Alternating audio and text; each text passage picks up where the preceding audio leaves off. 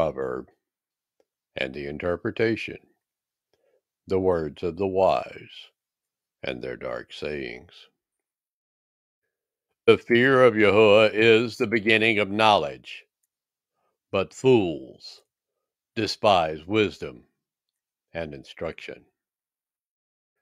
My son, hear the instruction of your father, and forsake not the Torah of your mother. For they shall be an ornament of grace unto your head, and chains about your neck. My son, if sinners entice you, consent not. If they say, Come with us, let us lay wait for blood, let us lurk privily for the innocent without cause.